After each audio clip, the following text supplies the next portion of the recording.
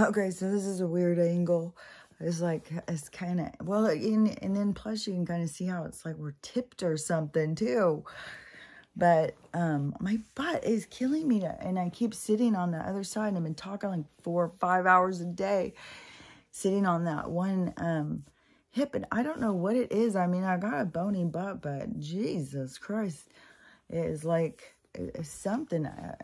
I, I feel like it's some sort of empathetic kind of thing to her pain or something.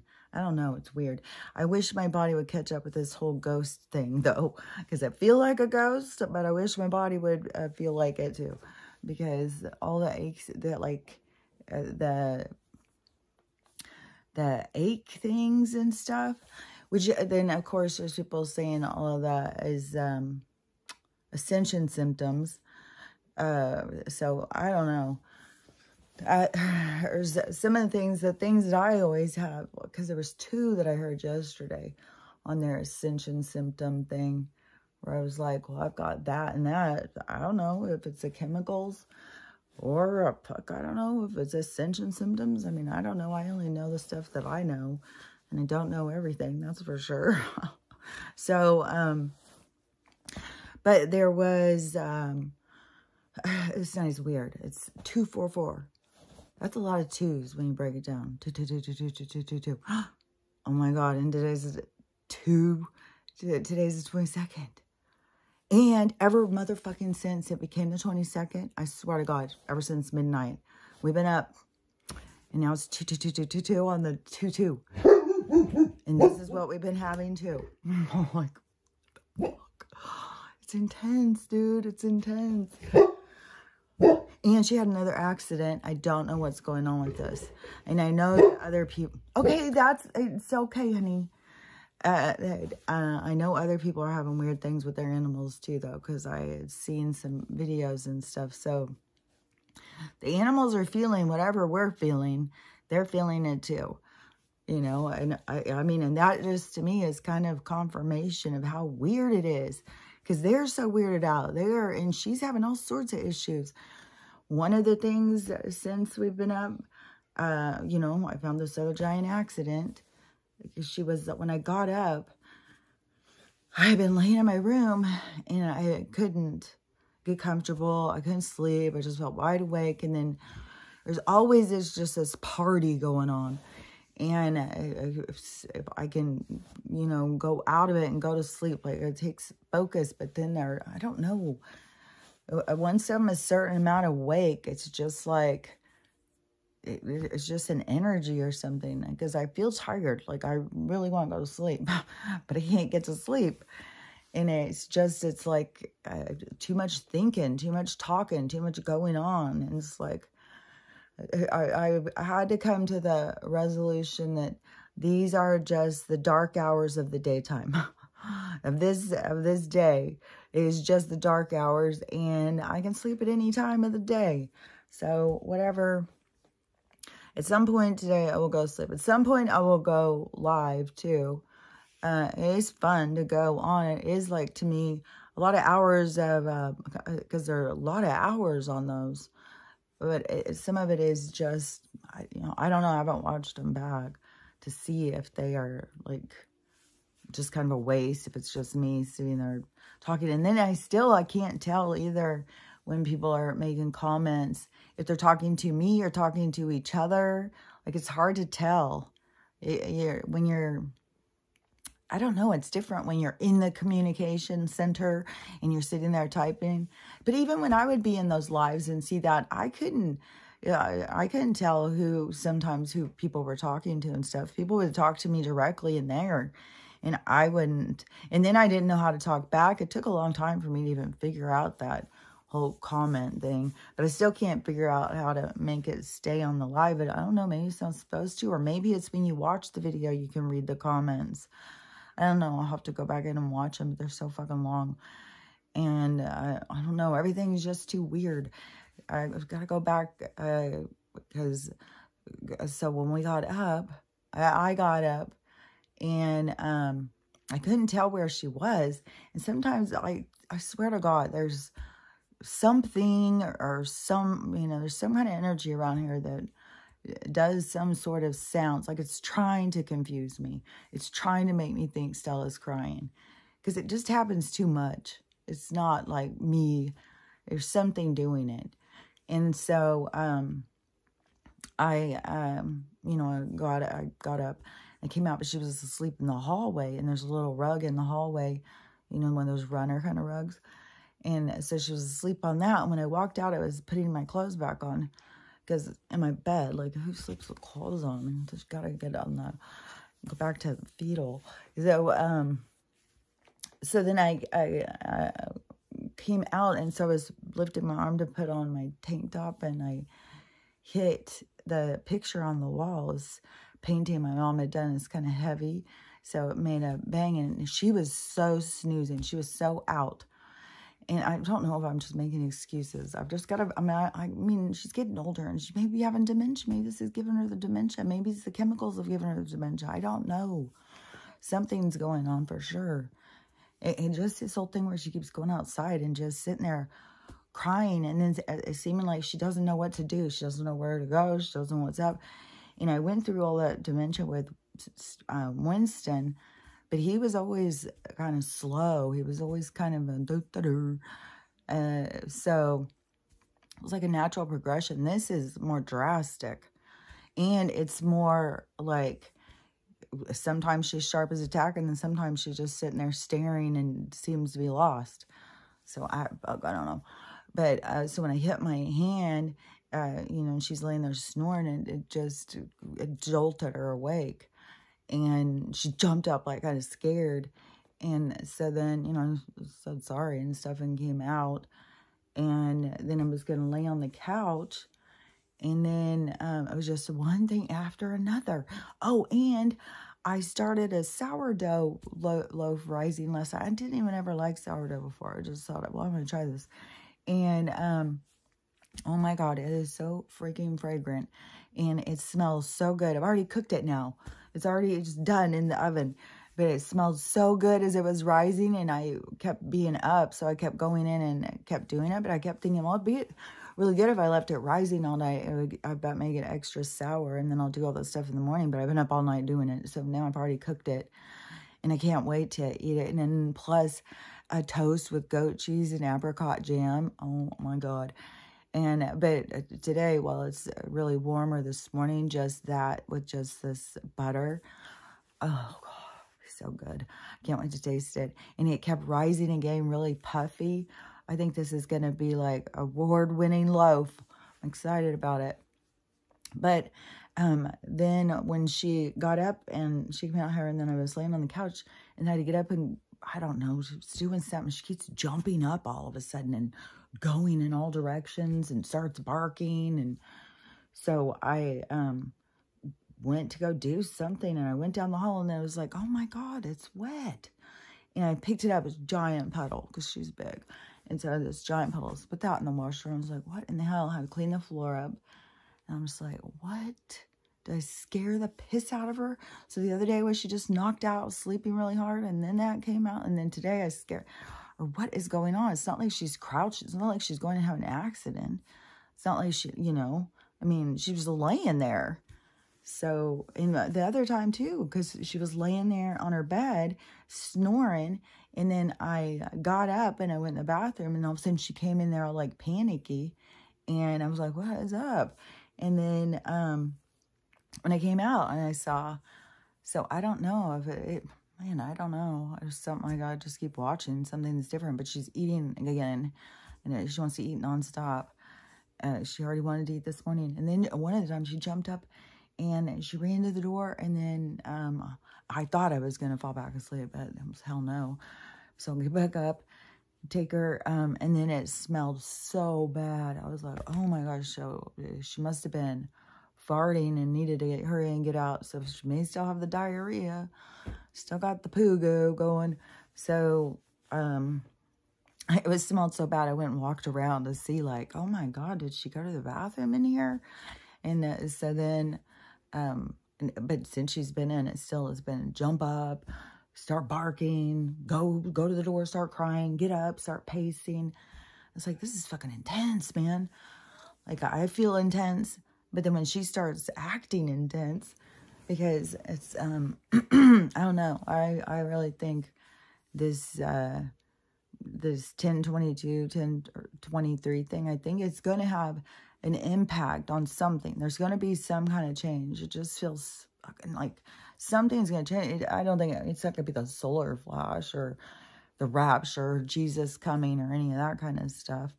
Uh, I think it, it's really likely that it will have some kind of impact on the financial for sure because of how it's all lined up in that that a report thing I was hearing yesterday, the Republic, I'm positive it is a military, like their news letter thing. Um, eh, that there's there uh, there's like it's like they're there for us to get to know this stuff, but not everybody knows it's there. Not everybody pays attention, but like does reports like on the tribunals and stuff like that. There's people who go and watch that stuff.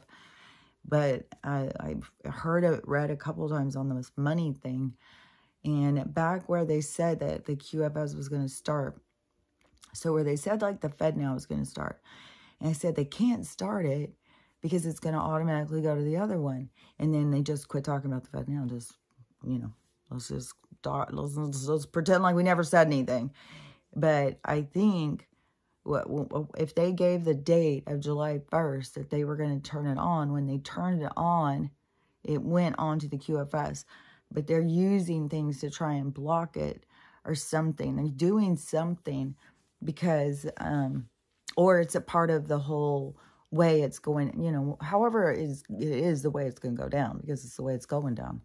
But, um, so the, so on that July 1st or something, it was already put into motion. The, this report was saying it already started.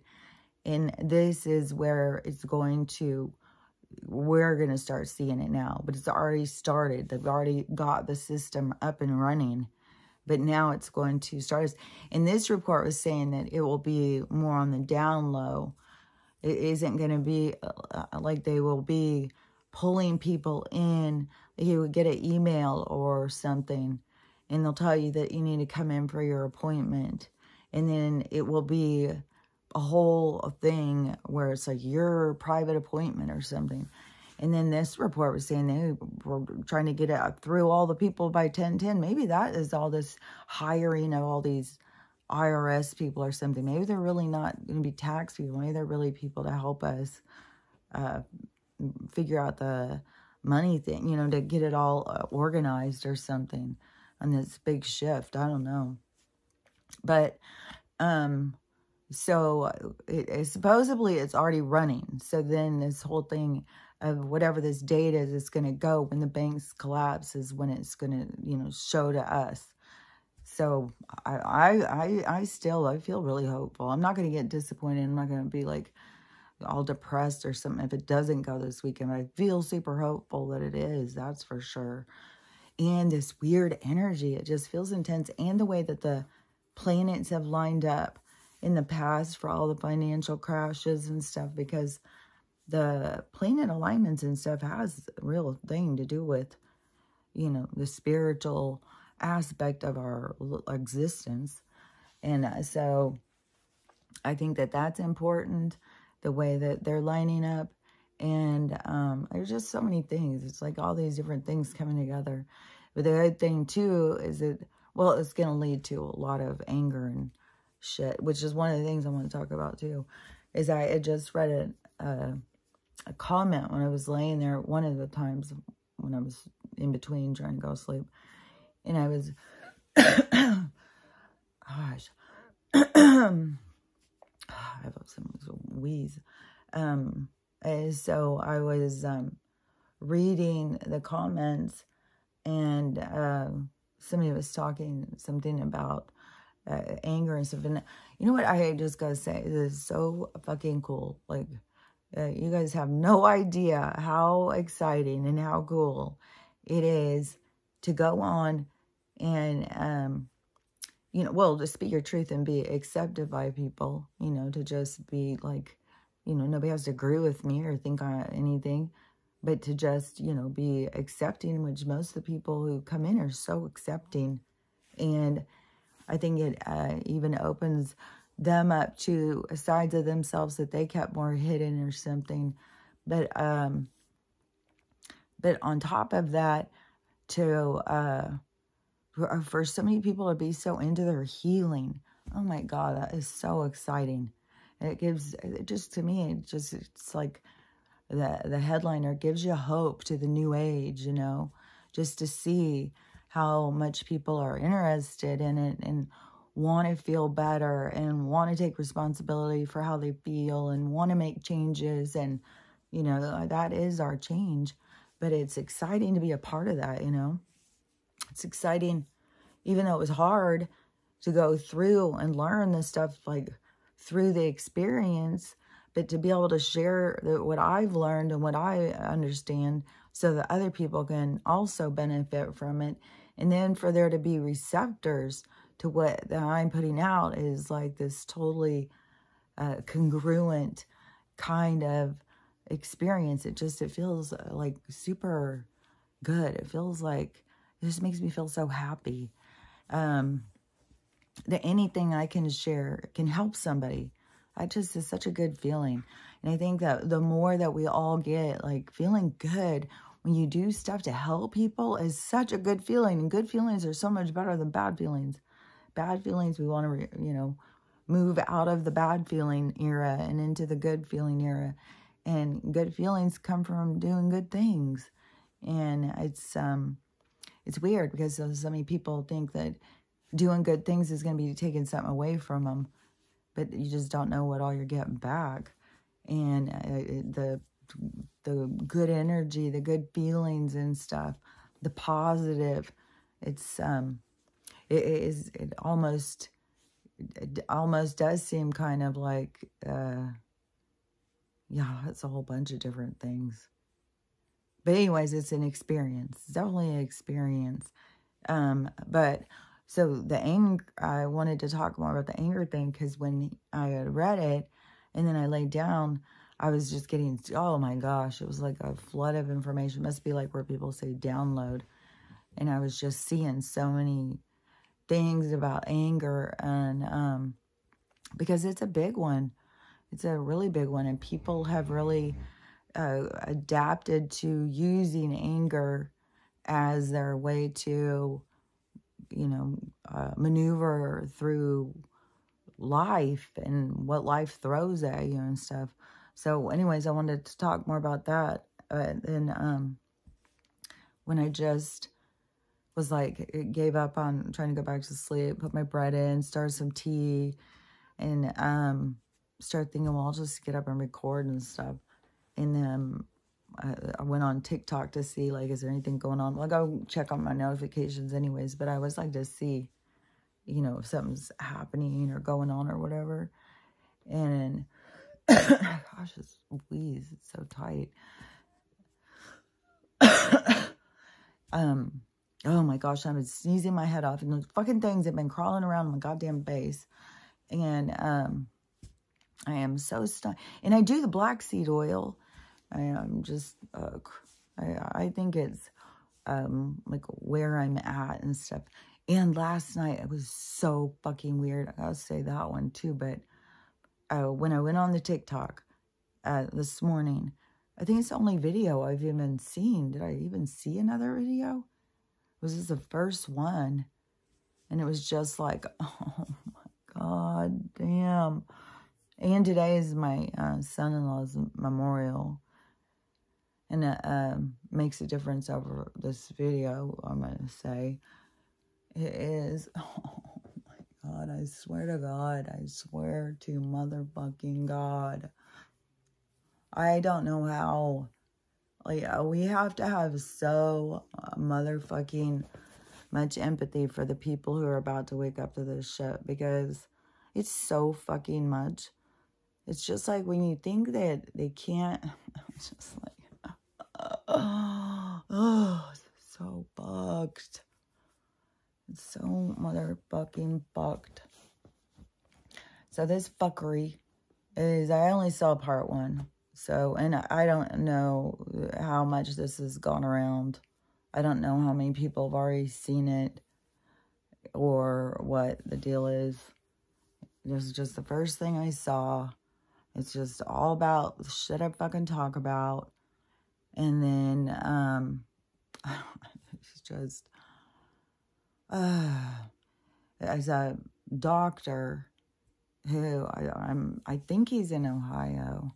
You I don't fucking have to talk in code because this is going to be the same thing. They're, they're going to block the fucking shit out of this. If, I mean, I don't know. I mean, when, when the banks go censorship, I think uh, there's going to be some big things that'll start going and there'll be more open conversation. But this is definitely something that they don't want out there. This is like, you know, kind of Project Veritas. I don't even know who these girls were, if they were podcasters or what they were. As all you see is him, you know, they're doing the interview and asking the questions. And it looks like, you know, a coffee shop or something like where they go and meet these people in these locations and then talk to them. And, um, so he's a whistleblower. So, and the only thing I can really remember about his background is he's been a doc since like, I mean, he was involved with creating ventilators back in the 60s. So he has been around a while. And he is, um, he said he had, this is so, he said it's so bad and people don't want to know this and people, but people got to know. He said this is so, so bad. So it's like hard because it's got talking code. Okay, because we know what my son-in-law died from, right? And we know what they said in the hospital with the brain dead stuff, right? So um, he uh, went in on an overdose and then and he was having seizures for five hours. And the people who he was with didn't know what to do, so they just didn't do anything. So he was having seizures for five hours. Then he got taken to the hospital, and then he was um, in his John Doe, so his family couldn't find him. In the hospital, that won't say anything. You didn't call police. You call all these different things, and they are just like, give a fuck. You're you're asking them about another overdose. They don't give a fuck. Take your garbage person, family member, and you know, fuck off. They treat them like, they treat the family like they're, uh, you know, like they're at fault somehow, that they're garbage people or something, try and make them feel bad at this crisis time, which is another fucking thing. And then, um, but uh, so she finally got to him and stuff, and then they said, um, he's brain dead. And uh, I don't think they wanted a retrieval. I don't know, though, if they did, because he had um, diabetes, and I don't know what I I don't know what his uh, his stuff would have been like, I, you know. But fuck, I mean, Jesus Christ, these people take anything. Fuck, these people, god damn. So, um, yeah, it's all this is a whole big scam uh, bringing the the whole thing with the overdoses and stuff. It's a scam. Oh my god, this is so sickening. so sickening and too, and I want to just play, I just say it all, but it's like you gotta be so careful how you say it. Um. So there's a test they do Okay, so they, I, I, probably even the blue stuff, it's all a certain thing that they want them to overdose on. Like I've talked about and talked about, there's something fucking goddamn weird about them needing so much goddamn organs. Like, what in the holy hell? What in the holy hell?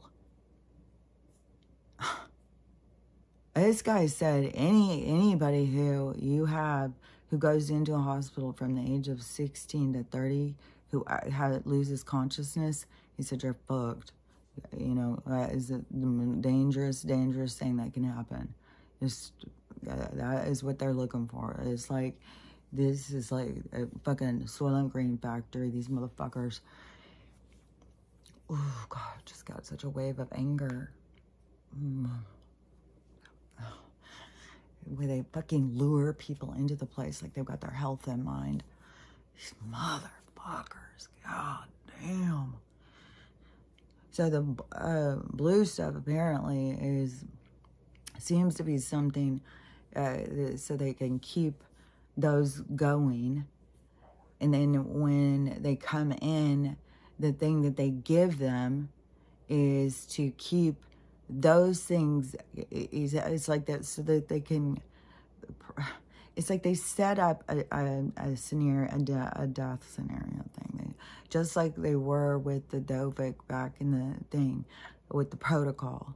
The protocol you got to do the protocol. It comes from administration got to do it. It's what they said to do even though it just seems to just wipe everybody out because you're doing all the things you shouldn't do for these things. So uh, should you follow the protocol or should you follow your fucking brain? And so, fuck, there's going to be some goddamn hospital people like, oh, fuck. I am, goddamn, I'm glad I got out of goddamn hospitals. Like, fuck, I was, there's fucking people are going to go down all over the place. It's such a goddamn criminal institution. Fucking hell. And, um, so the, they also do a thing called a apnea test. And so what they did is in the 60s, there was um, something in some other country or something. They did some transplant. And um, so then over here in America, I guess, you know, competition, and, and this is something too when I was in nursing school. Like we had the whole thing about uh, medical ethics. And, you know, that's kind of stuff like they start talking about something. I don't just get the information, I get all the information. So it's very expansive what I start seeing when um, when something like I like I said, and and it should be like that for everybody. So if you don't have that, I don't know, but uh, you get information and just like it it like opens files in your mind or something. And uh, so uh, there would be things and it just, it just, it connects dots or something. It's like throughout life you get different things and it just, and then uh, I'm always, I can always just see more than what the stuff is.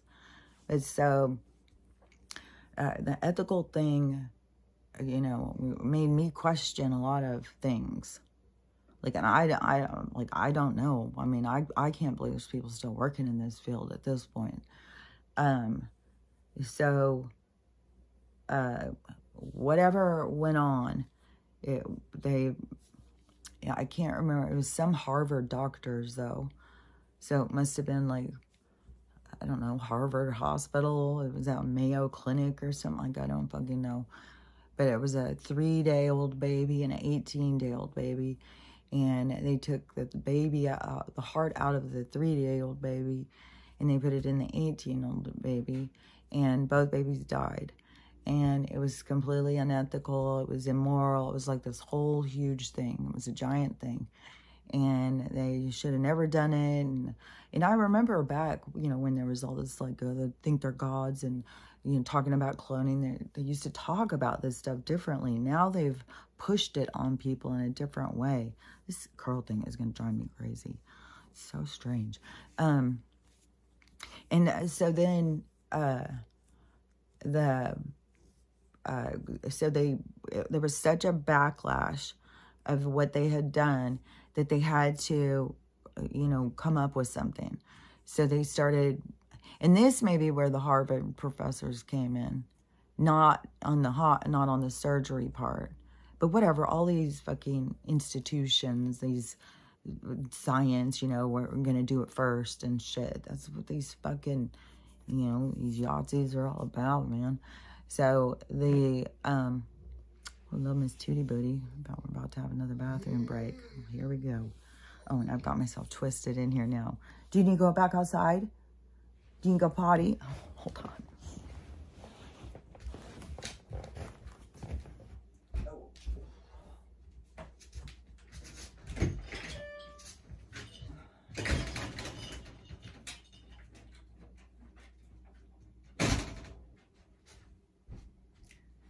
Yeah, I can't. I I don't, I feel like I need to move this because now this is across here. And, um, it is even short. She must still have the diarrhea. So, uh, anyways, um, so the, um, I wish I could just go back a second and see what book I was talking about. When I get up, I think, okay, you'll remember, you'll remember. Um, and then I start worrying about, like, if I just relax, I, I can see it again. But it, I, there's a whole other part of, like, there's this whole other aspect of yourself that it'll interfere sometimes. It'll start asking questions and stuff. So, um, uh, let me remember back to the thing. Because I keep having Pugu stuck in my head now. Um, okay, so the person... Um, okay, so the doctors at the hospital and the uh, okay so when the when the people come in and um okay okay so the uh the baby there was such this big huge backlash on what had happened that uh, people freaked out so they went in with these um, science people and they came up with a new thing called brain death so they invented brain death to cover their asses. And it, well,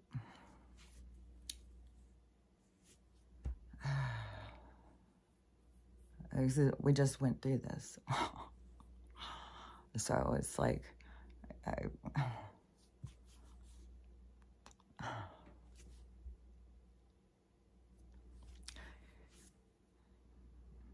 this, this his, this, you know how I say like there's no death. Um, well, they're forcing people out of their bodies, basically, in order to take their organs. So he was saying that there is, um, it's all states of consciousness he was saying just like there's a tree, there's a flower, there's a bird, there's a raw, everything's alive. So just because um, somebody's not, uh, you know, having brain activity or whatever, they're still alive. It, it is you'd have to go in and listen to his this this interview to see, uh, to hear and you know come up with your own stuff to and maybe hear more of it too, and see you know, you decide what you think. But, um, so the, the consciousness is in there and alive. And then I know, like, with people who are in comas, like, I, this one girl who was just talking about, she came out of a coma after like four years or something. And she was very disappointed when she came out. Because in her coma, she was having a great life. She had a very different life than what, the one that she had here.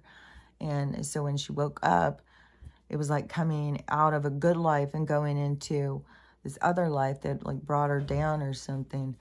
So you're, it's like, because all consciousness is, hold on. I'm coming.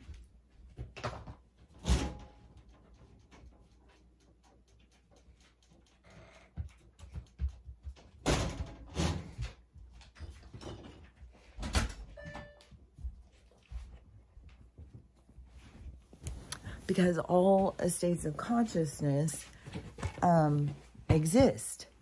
So just because your body isn't functioning doesn't mean your consciousness isn't. But also keep in mind that when your body is going through a trauma, that doesn't mean your consciousness is going through a trauma. Although we feel pain and although like, you know, I'm going through this experience through this pain and, uh, but it isn't, the same as like when you're when you're leaving this the when you're leaving like like I tried to get my daughter and his mom to understand five hours where he, his body was going through that he wasn't in it Like, uh, you know, when my dad was dying, he wasn't, and I've been around a lot of people who die and then they leave their bodies. They go back and forth. They're not just sitting there going through the whole thing. Just like what this doctor is basically saying, just because their body's not functioning, they're still, uh, they've, their soul is still attached to their body. And, um, it isn't, you know, if their body needs to heal, whatever it needs to heal, it needs its own process to go through its own healing. But what they're doing is they're setting it up so that they can, it's all about the motherfucking organs. I don't understand. How in the holy hell there is not, I mean, I'm so turned off against uh, like my I my kidneys go bad or something. It's like bye everybody, parts are breaking, gotta go. I know the med beds are coming and we're not gonna have that anymore. But Jesus Christ, I don't think it, there could be that many people whose stuff is going bad. It, it, like it doesn't make any sense. And and you gotta think about too in the hot like who's making the money off of it. There's something going on.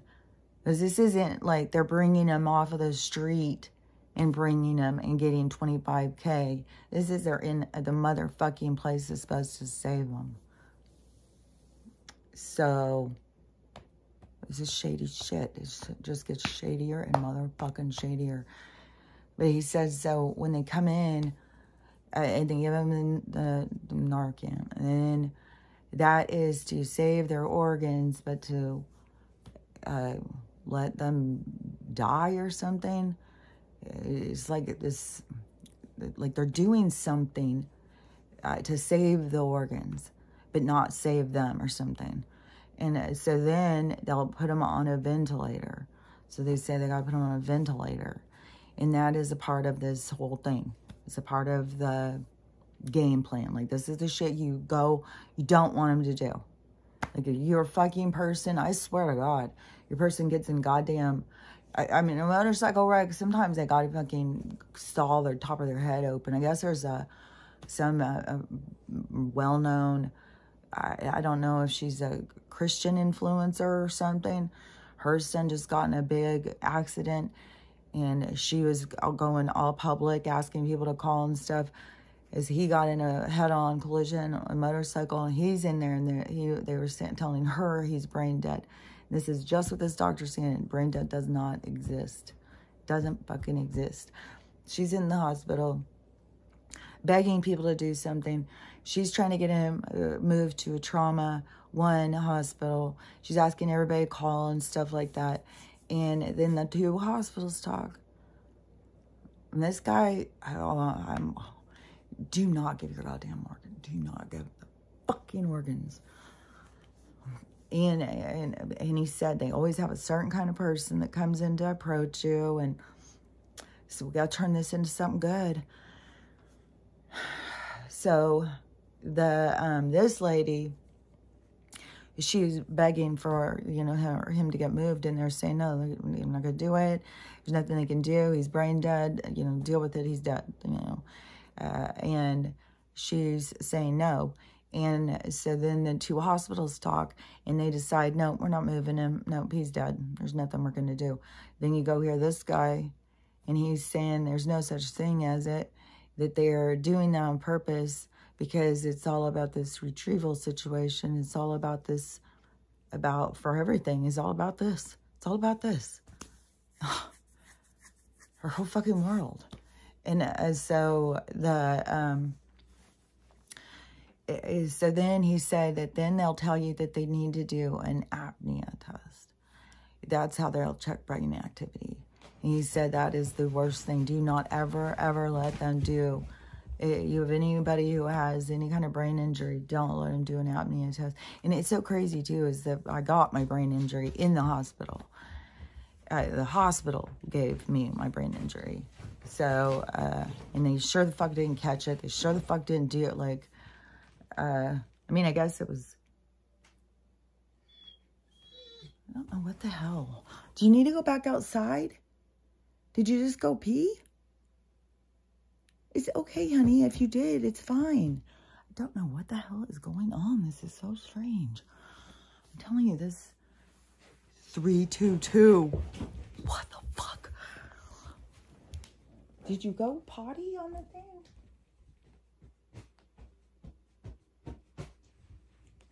Honey, do you need to go back outside? It's okay.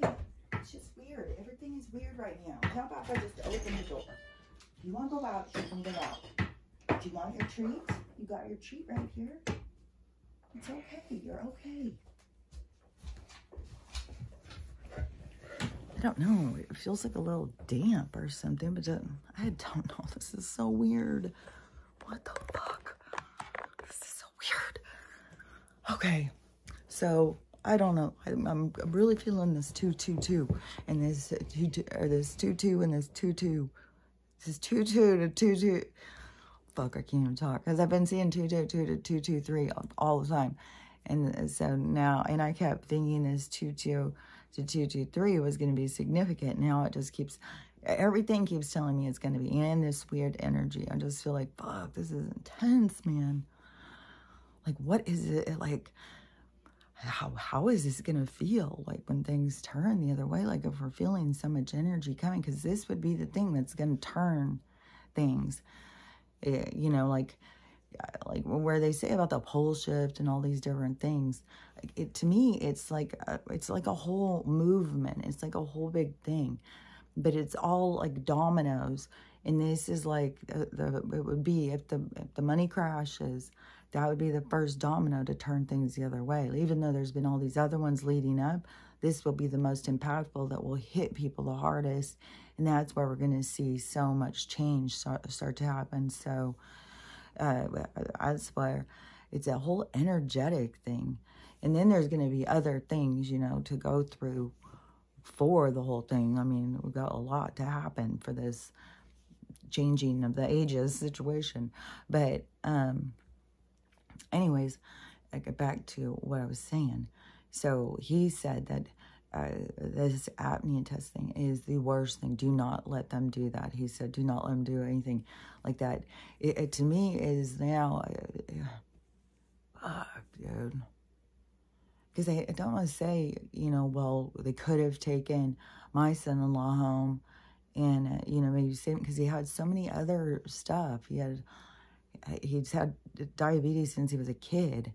You know, I always, ever since I known that he had diabetes as a kid, I always thought, like, you know, he's going to have a shorter lifespan. I always thought, like, my daughter starting that as a life partner and thinking you're going to spend your retirement years with this person is not likely. A lot of diabetic, like juvenile diabetes, is just hard on people. And, you know, and I know we're going to find out that they were doing it all wrong. I mean, all of these things have been always to just uh, kill people. But, I mean, they're purposely doing this.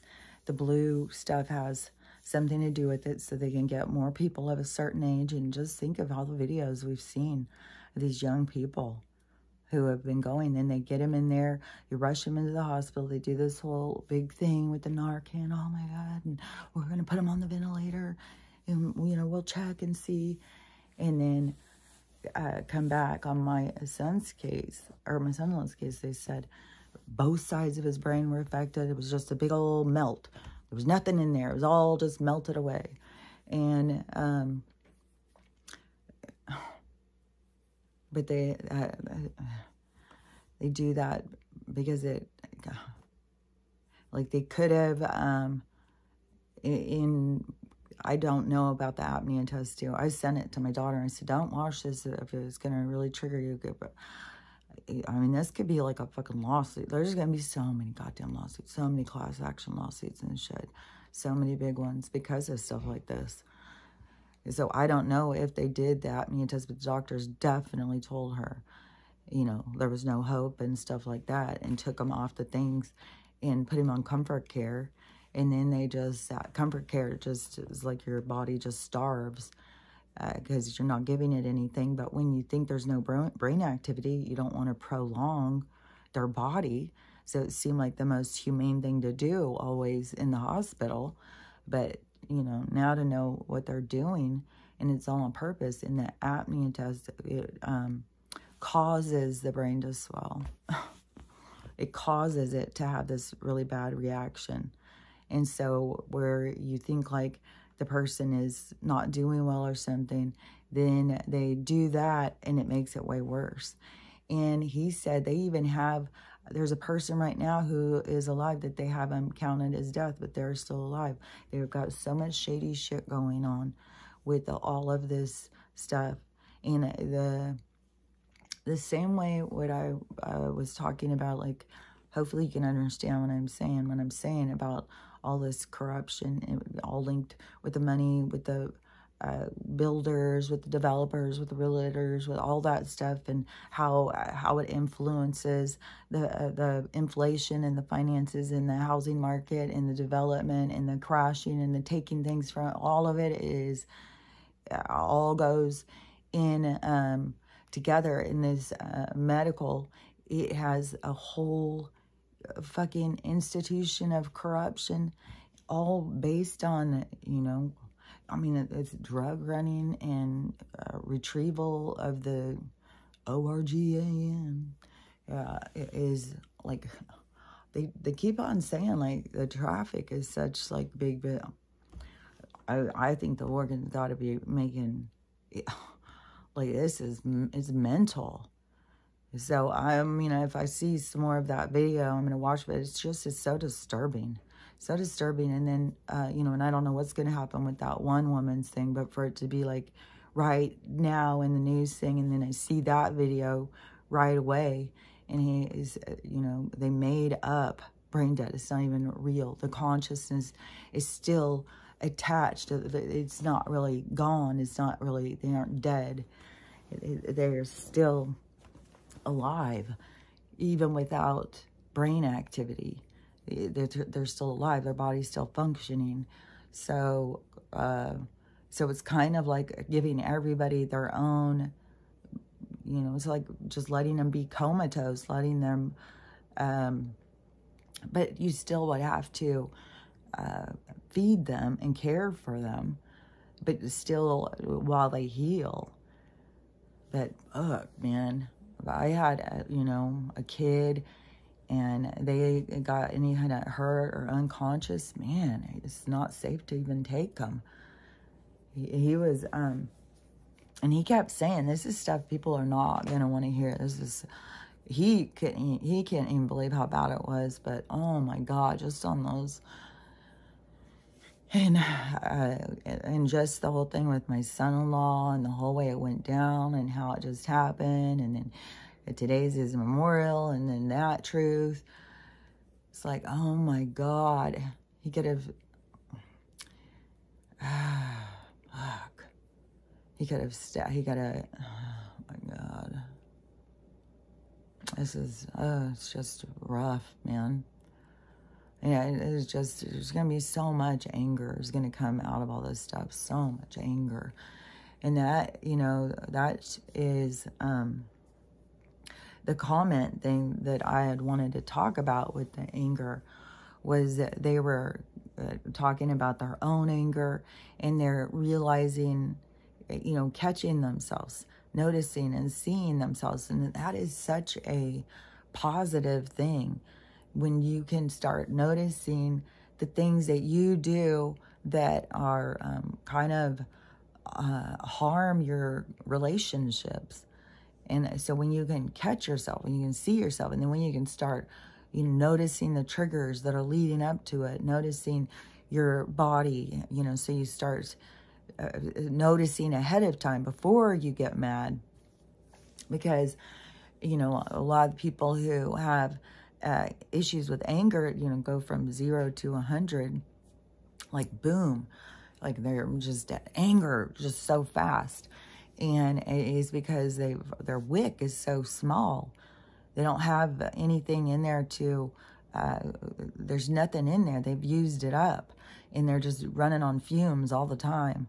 And that is uh, one of the things like uh, an angry person doesn't really realize how much they're just always running on fumes. And there's a reason why they lose their mind and get angry and so quick, why they're so uh, hairpin trigger and and why it affects the relationship you know what affects your relationships is so you can learn and grow and heal and improve what you want to improve, make changes for yourself and make differences where you want to make a difference.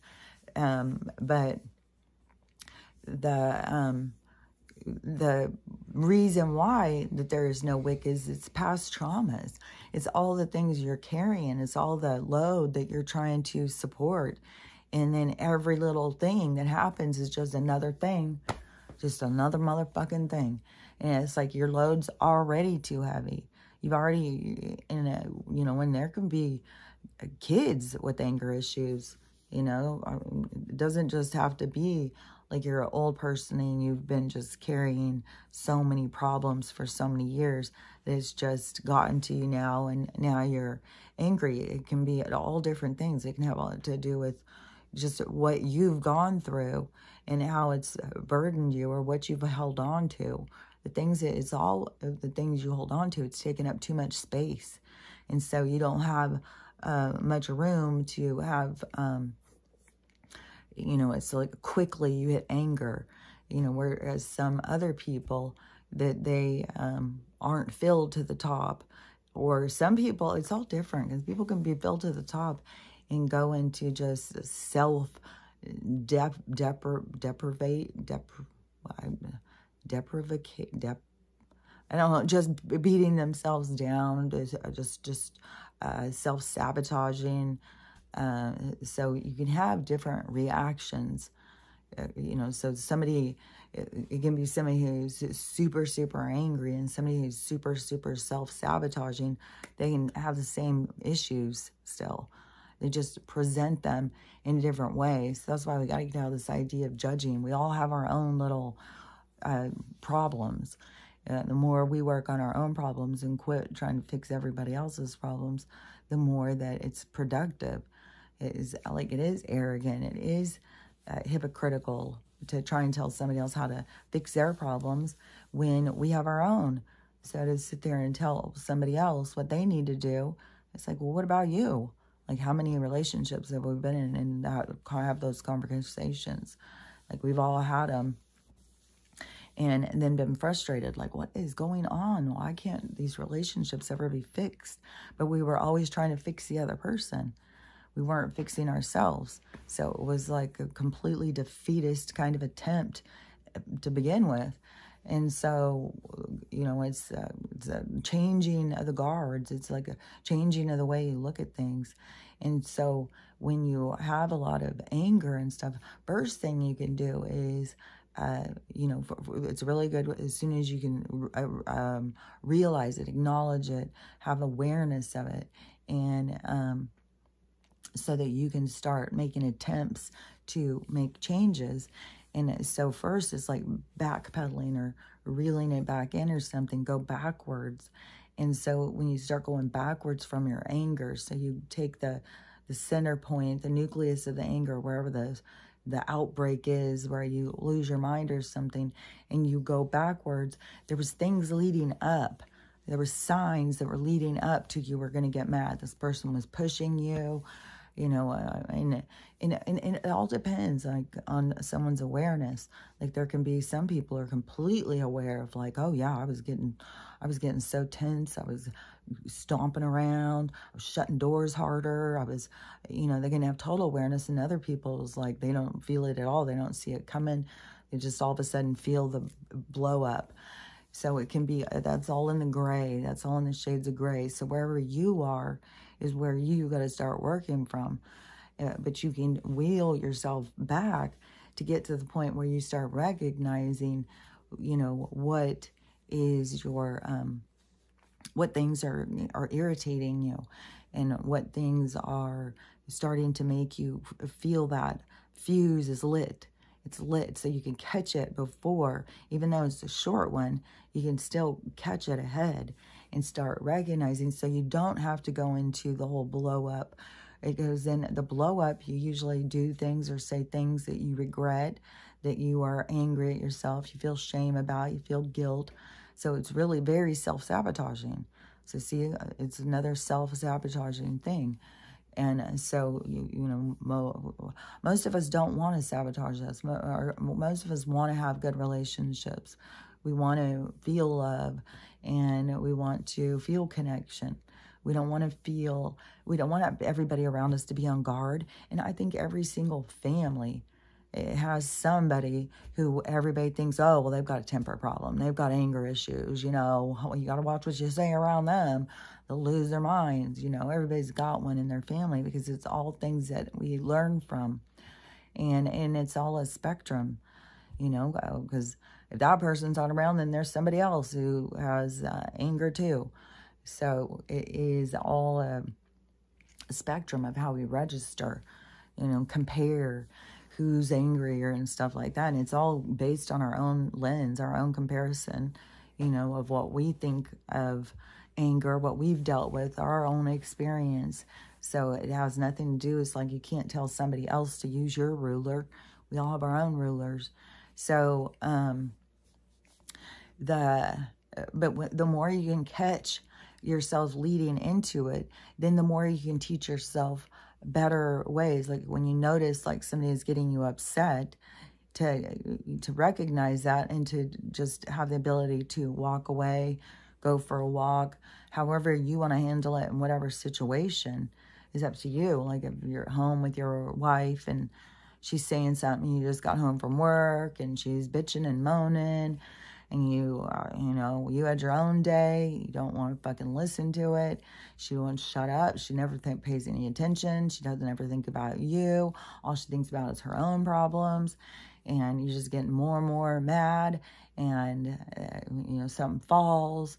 And when the kids start crying, and then you just blow up, you go back and catch yourself to as soon as she started talking, as soon as she started saying whatever it was, as soon as you felt that ping, that's the ping that you need to go and self-adjust to. That's what you need to go reflect on.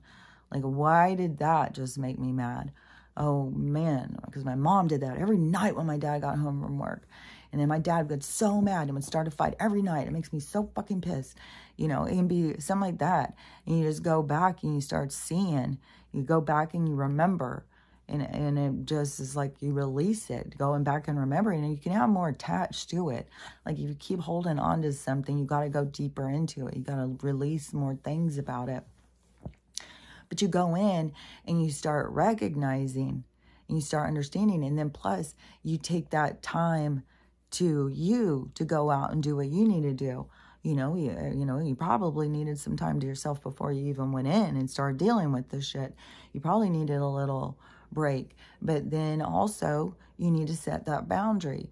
You need to say, you know, if your wife, you you just walk in the door and you just dealt with traffic, you just, you know, you've put yourself out there all day long and been friendly to people you didn't want to be friendly to, and now you're home and you just want to just melt into the couch and not think, not talk, not do anything and your wife's been there all day long. She's lonely. She's upset. The kids have drove her crazy. She needs to vent. You know it's just like this two different energies happening. And and then the two partners like get angry at each other resentful because the other person's not there for them. But it's a miscommunication. It's like a, a vibrational mismatch.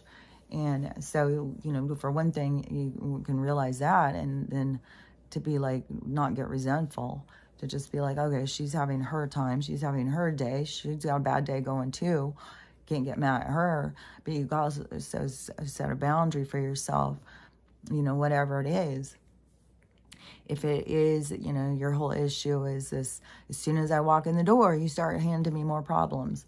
And I haven't even dealt with the problems I had all day. I haven't even released those ones and you're handing me new ones.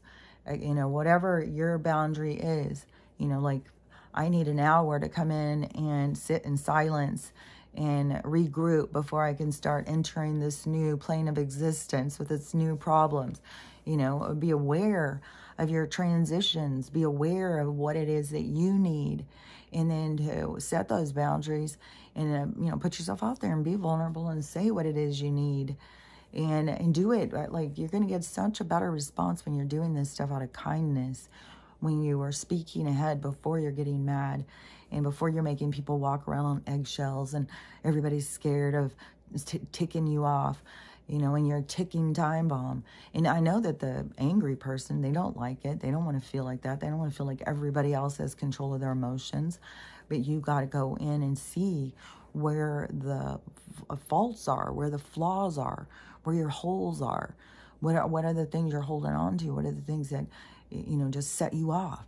And you'll start recognizing do you have certain things that that irritate you, that set you off, that piss you off? Uh, it could be, you know, people ignoring people.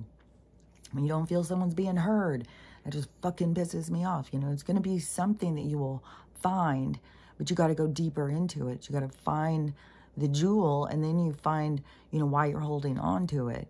You, it's just, it's like a, a journey going backwards to figure out how you got to where you are. But going backwards helps you to release it, to let it go. And then you go forward and you don't have to deal with it anymore. It's like all these opportunities. It's like the universe is giving us this gift of seeing and releasing so that we can let go of this stuff. And the universe is, um, it's like it's making sure uh, that we have these certain experiences and stuff. Hold on.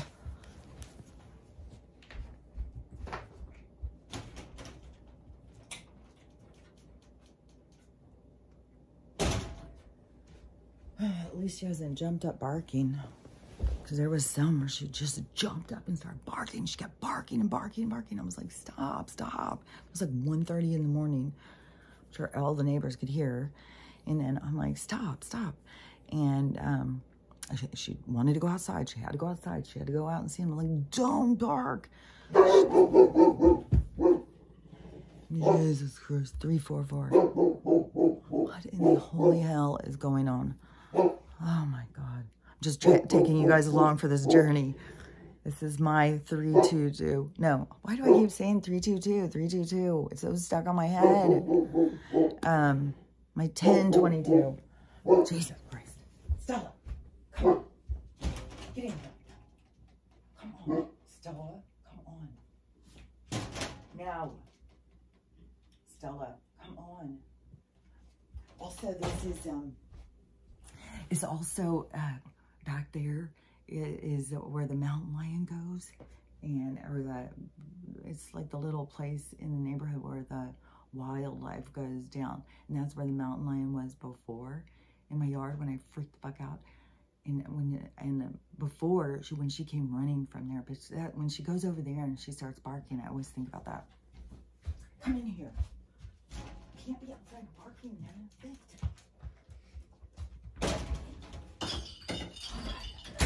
Gotta be quiet. People are sleeping. People out here have guns too. Come shoot you. I'm mad at you.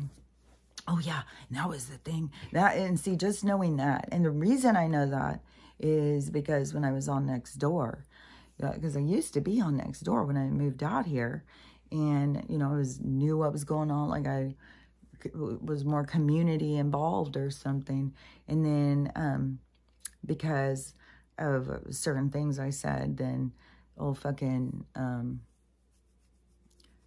Roger Dodger. Uh, what is his damn name? I've said it a bunch of times. Uh, I can't think of his name. But he got me kicked off. He, he warned me he was going to get me kicked off. You know, because I didn't have a science degree. I didn't have a nursing license. I shouldn't be saying shit I don't know about. And he would always call me Kelly with a Q and stuff. He was like, oh my God, this guy's so childish. And, uh, and he's an old man. I, I love to just see him in person, know what this guy is like seems like he's just grumpy old man. But uh, and you can't go again. You can't say against what he believes because then you're, you know, the devil or something. So he got me kicked off Nextdoor, and so um, there's lots of things you wouldn't know about. But when I was on there, I would see what people were constantly their solution to everything was just you know get a gun and shoot them, and I was like, oh my gosh, this is intense out here, and so then. Um, whenever there's fights and stuff, and there was that big shootout, um, when was it? It was a big old shootout, uh, I don't know, a couple blocks away, and the cop got shot, the, that cop I don't think, I think he, he got blind. Um, and I don't know if anyone ever even moved back in the one house or if that guy went to jail. I don't even know what's going on. But, um, anyways, there was that whole shootout. It was weird too, because I'll hear the guns in the forest and it will like echo out. But the guns in the neighborhood, it, it didn't sound the same. I don't remember what I thought it was. I don't even remember if I heard it. Ugh, that's weird. I, I can't remember that, that while I was sitting outside. I could hear all the ant, all the sirens and stuff. But anyways, uh, there, you know, that always is on my mind because of how the people are out here and how they get so mad. Uh, but last night was so weird because it, it kept seeming later than it was. It was like 6.30 and I was ready for bed. And so I, um, and it was getting, it was super dark. It was definitely 7.30. It was solely dark. And um, it seems like it was like around 7 or 7.30, maybe 6.30. No, it was more like 7 or 7.30. And I heard all this yelling outside. There was a whole bunch of yelling. So then I tried to pause the thing so I could hear because then it's like, man, is this going to turn into like shooting? Is this like a, one person's has this isolated incident, or are they going to go and take out the neighborhood? Have we been invaded now? Like, what's going on? and so um, I tried to hear, and I could hear a bunch of yelling, but I couldn't um, make out what was going on. And then all of a sudden, I heard the neighbor's dogs out barking. And so I thought, okay, she must have heard something too. And so she opened her door to hear, and all her dogs came out. And then, um, so her dogs, three dogs came out and started barking. Stella was in here and she wasn't even making, she was like snoring or something. I think she woke up during all of this. But so then, um, maybe she didn't. But I was standing over by the window and I could hear her dogs going crazy barking. I couldn't hear the yelling anymore. And then she started yelling at her dogs, but there was this other sound that was like super creepy.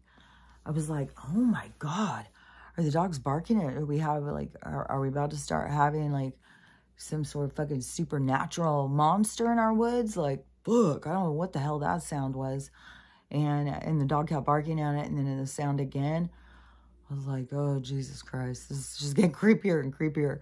And when I went to get water the other day, I'm looking up in that thing, you know, because the water thing's down here, and you're looking up the side of the mountain, and all this stuff hanging down and stuff. And it looks so uh, dinosaur land.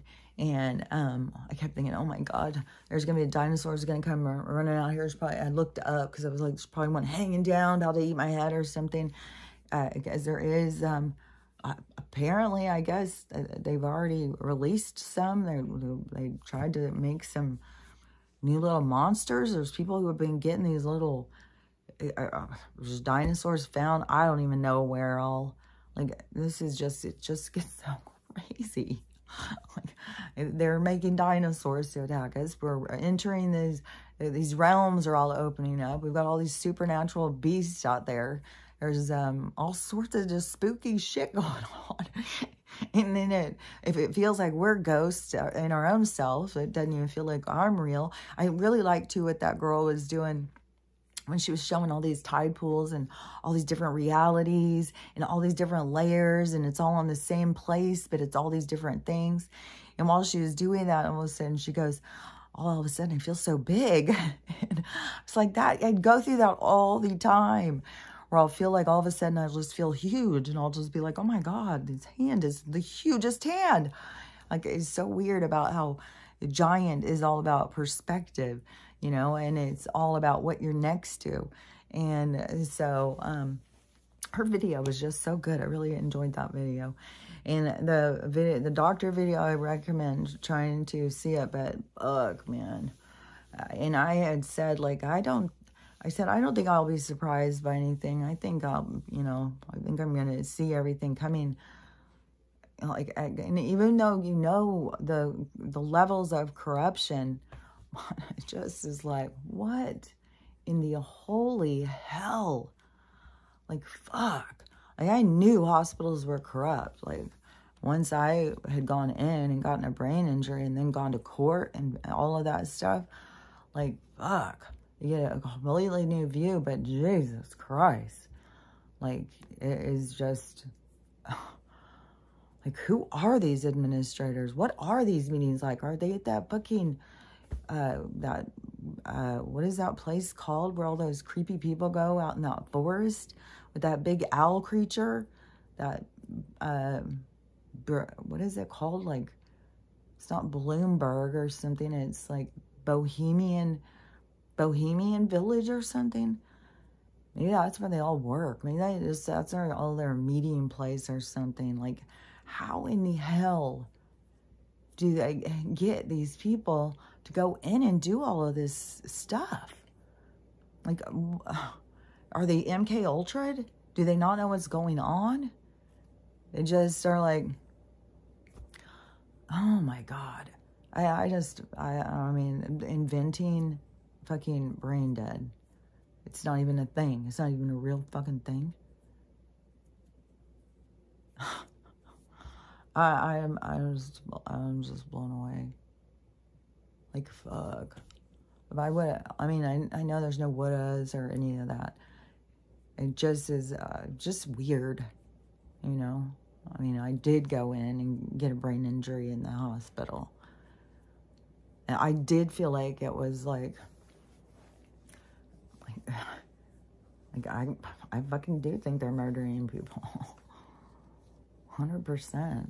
And are they doing it with just having ignorant people running it? And then all these goddamn people who just trust them. Trust these medical people to give them a piece of paper with a frame on it and hang it on the wall and fuck, you just got trust up the fucking ass. Yeah. And we've even had people printing out fucking fake degrees and hanging them on walls. Like that, you can't trust that, but still people do.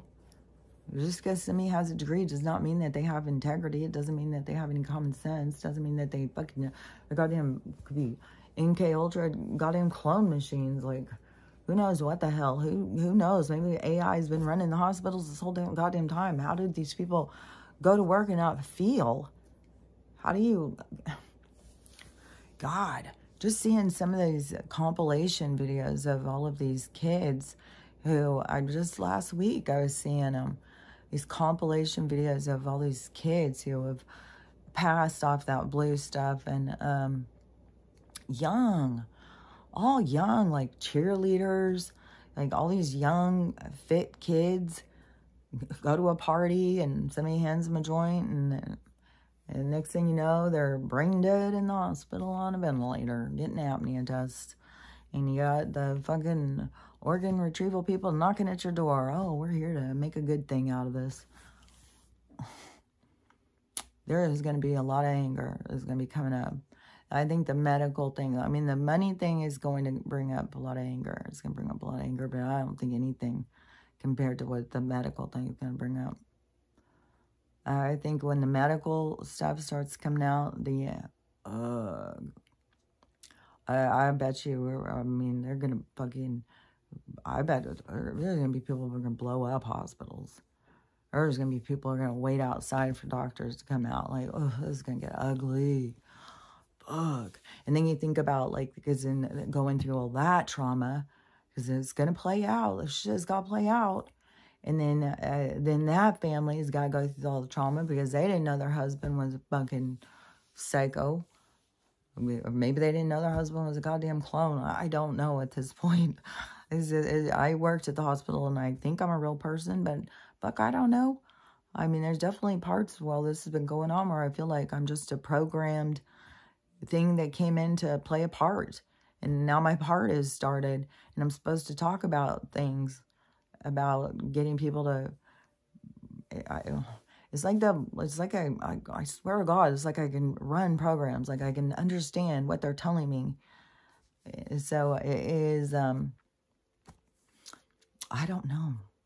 Like, I know this is some type of a simulation.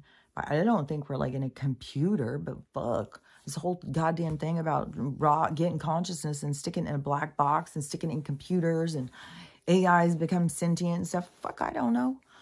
Maybe it is just a fucking we're in a goddamn computer and we think we're really living and because uh, it's all these levels of consciousness, just like that doctor said. you know, everything is alive around us just because it's not, you know, doing certain things or whatever. But the the body and the consciousness have not separated. But then once they take the organs out, then then they don't give the there's no chance. The body has no chance of survival. And then um and then how much are they doing of this uh oh yeah I, this was, I guess I'll say this and then I'll, I'll go. I'll, I'll probably be back live this afternoon. But I had seen this, and this seemed uh, very much like what I've been talking about. So there's something called the El El Elhoim El. I think it's E L H O I M, and it's these beings. And I don't know the whole thing about them.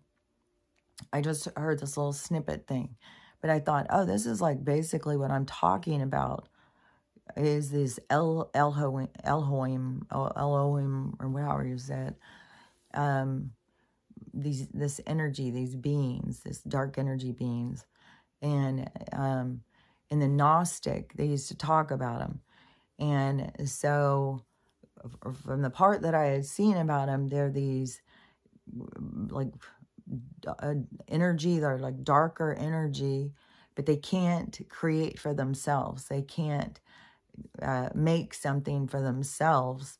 So they have to go through us. So they have to kind of give us stuff to direct us. But these are like way more advanced beings. Because the ones who I always am like this dark energy attachments is it's like they uh they're just this this energy. It's not like that they're um like a bunch of different like thought processes or something. And so, um, but then how this was explaining this Elohim, oh, or whatever, and maybe, you know, these energies are, are, are a part of them or something. Like, I don't know. I've, I've heard the, everything I've ever heard of, like, from the Gnostic teachings is just drawn me in more. Like, I'm so interested in them. But the, um, but the Elohim, they would like kind of sit and try and uh, direct us. So they like attach and direct you so they can experience. So they use you as an experience. So it's like basically like the same thing as what I'm saying. Like they're parasitic. They will talk. They try and get what they want is what they want. Well, they'll try and override you. So anyways, uh, I was thinking if you're trying to understand more about like this attachment or something like what I'm talking about, uh, you might find information in that. Like I'm, I'm really interested in this Gnostics teaching. I want to look up more about that because every time I hear stuff, I'm always like, I, Maybe it was the religion when I was back in Egypt or something. Maybe we are back on Atlantis. Maybe that's where Gnostic comes from. I don't know. Maybe it's something that it's in our core. It's in our our understanding. I think it's strange too because I know there's a ton of us who feel like we're from Atlantis times. And, and that doesn't even interfere at all with the fact that I feel like I'm from like the Pleiades or something. I feel like I've got some kind of like it wouldn't surprise me if I have a body waiting back there that's just, you know, in some sort of a fugue state or something. And I'm here having this experience. Like I feel like that is more of where I'm at now or something. Like that's more of where I resonate when I'm not incarnated. Eh, but in the incarnation, you know, I feel um, really um, a part of here. It goes all the way back to, and I always wonder if Atlantis and Egypt aren't somehow connected. And it seemed like when I was listening to Matias De Stefano on that uh, Initiation on Gaia channel, uh, he was saying that there was some kind of uh, some kind of a thing with it. Like if it was the people left Atlantis and went to Egypt and started the tribes or something. I don't know. I'd have to go back in and watch that or something. But to me, it just seems like there's some sort of uh, a, a, a, an attachment of those two things. I don't know other people, but um, if you feel the same way, but I know there's a lot of people who feel like this attachment to Egypt or Atlantis. And so it's just funny to hear about all these guys who have this attachment to the Roman Empire. That is so past life. And that is so much what I've been talking about too, this going full circle. All these groups coming back, like this whole group probably of soldiers and all the different people that went through that experience during that. And then when you hear him talking about it stuff, and it's, uh, It's, it's just crazy because it is like a whole group of people from that time are here for this time and they're pointing out things about the relationship between the two times and they are seeing they've got this unique perspective. Like i keep saying we all have these unique perspectives that are all based on all these past lives that we've experienced. And so uh, you know that is to me another one of these big groups that are back together. It's really cool and um, you know and i don't know how many people of our different tribes and stuff who we're meant to meet back up with and who we're not of our different past incarnations and stuff or if it's all based on this um, frequency of where we are now. So this is just all this is just so interesting to experience but it's also so crazy. It's also weird. It's also intense. It also makes you feel all of a sudden i couldn't remember where she was God, this is so, oh this is so weird. 404. That's 22022. I don't know. I think today is going to be, I, I sure hope that today is the day that the bank thing goes down. God, that'd be so exciting. I'm going to call though and ask him about that money. And I thought about going and and um, getting some more groceries or something. I thought, well, maybe I should go get some more food or something if we're going to be, because I, there keeps being the word on the street about lock, locking us down when this shit goes down for three to 10 days or something. And it'll be to kind of deflate and probably the people who are the instigators is kind of corral some of them before letting the everybody else out and to release their anger because it will be a lot less violent if it is, you know, just American citizens or, you know, different people. Like, fuck, I don't know, but they definitely have instigators out there just waiting to, you know, just mass murder, really, just uh, pull a machete out of their car and just go at it. Like, I don't know what they have in stores, like goddamn purge. So, um, I, I would think if they're to do the money crash and then lock us down, it would be for that. Because if people went out and start being real angry and stuff, they're just to get themselves into some really nasty stuff. And, and then plus, if it leaves it to where, you know, it's kind of like, uh, what was that, musical chairs or something. Like all of a sudden, they need the people that don't have any place to sit down, it makes them stand out, stand up. So then they can see them and uh, maybe that's an easier way to make sure that arrests get made or something. But so anyway, just like, hopefully today is our day where shit starts going. But if they do lock us down, but, but to me, I, I bought a bunch of silver. And that still is waiting to see too. Because are they going to let, the, they've, show, they've sent me the receipt and stuff. They're making like it's going to go through even though the dollar has no value and the, definitely the silver and gold place knows that. They know that there's no value to the dollar. So, um, but that's where I think that the the white hats or whatever, there's a certain side that is keeping this open for us, I think, until the last second. And so, but I'm curious to see, you know, if this will go through, if I will receive the bundle. Um, you know, we'll see. They took the money out of my account and they've sent me a receipt. So we'll see. We'll see how it all goes. Hopefully it'll be in the mail before because that's going to be another thing. Who's going to go out and deliver the mail? Who, if you're not getting paid, but maybe there's a whole thing with the postmaster where they're already going to be on the, um, the quantum financial thing. Maybe it's already been gotten set up. Maybe they've already been setting it up behind the scenes to make sure. Maybe UPS, Amazon, and um, FedEx and stuff. God, my nose is itching. Confirmation.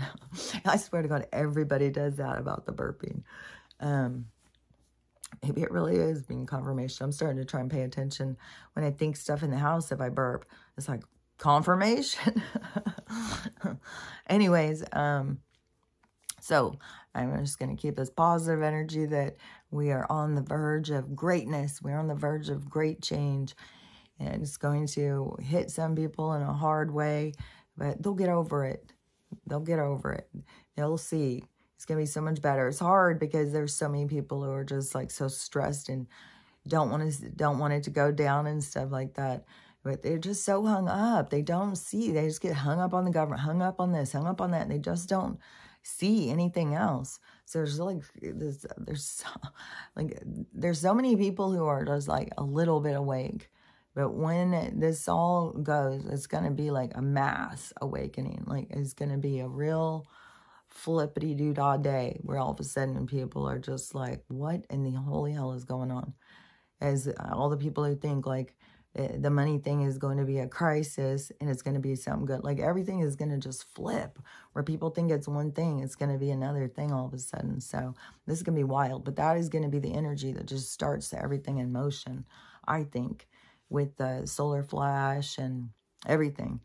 Um, and I, it seems like to me, I swear to God, the firmament and the art in the ice wall is going to, it's going to go. I swear to God, it's going to go.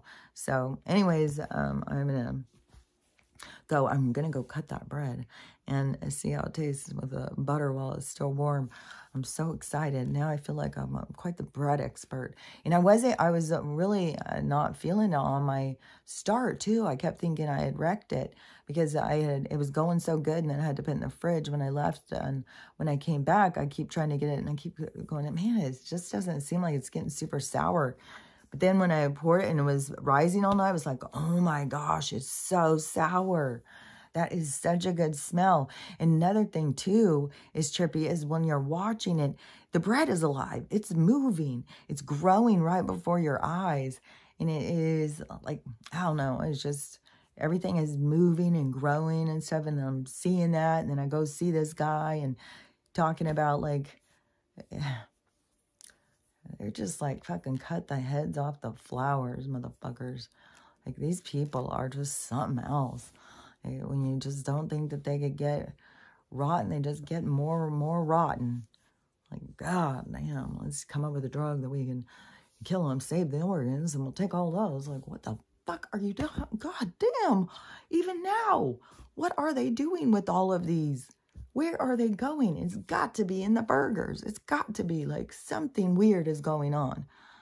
Like, seriously, that is like, this is a bugging conspiracy for sure. Like, what in the hell do you fucking could possibly need that many organs? Like, it's it's mental. So, anyways, we'll ponder that, and I'll just let this whole fucking thing blow up. And so, anyways, I'll be I'll be back later, and I'll talk to you later.